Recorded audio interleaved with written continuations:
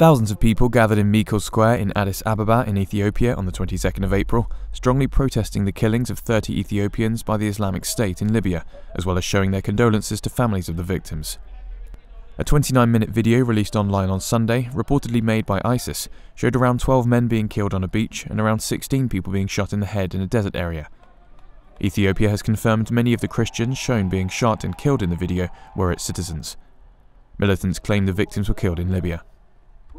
The videos triggered fury among Ethiopians, who said that the slaughter of more than 30 innocent people cannot go unanswered. Ethiopia will fly its national flags at half mast for the next two days to honour the victims.